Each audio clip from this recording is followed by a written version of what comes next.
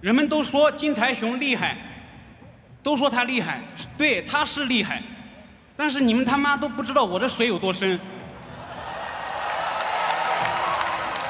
这个赛前霸气喊话的小伙，就是来自我们中国的 KO 男神唐凯。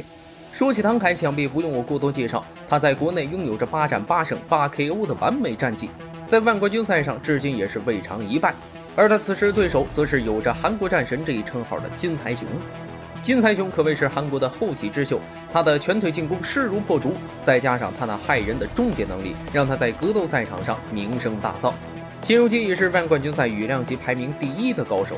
赛前他也非常的嚣张，点名要和唐凯打战力。不过唐凯可谓是初生牛犊不怕虎，管你排名第几，丝毫不怂。甚至赛前还这样说道：“我觉得前五都是，都以后会都是我的手下败将。金财雄是我职业生涯当中遇到的第三个韩国人，前两个已经被我 KO 了，也不差他金财雄一个。”好了，废话不多说，长按点赞，我们直接进入比赛。这场比赛对于双方来说可谓是至关重要，只有赢下这场比赛的人才能向冠军发起挑战。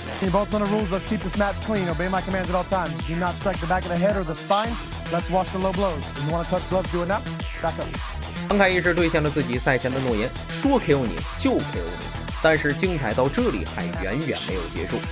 KO 金财雄之后，唐凯直接爬上边网，秀了一手后空翻。这波嘲讽属实拉满。在裁判宣布胜负时，不可一世的金财雄竟当众跪地痛哭。果然呐，赛前有多嘚瑟，赛后就有多丢人。做人还是低调一点比较好啊。好了，今天的内容到这里就结束了。感兴趣的朋友记得点个关注，我们下期不见不散。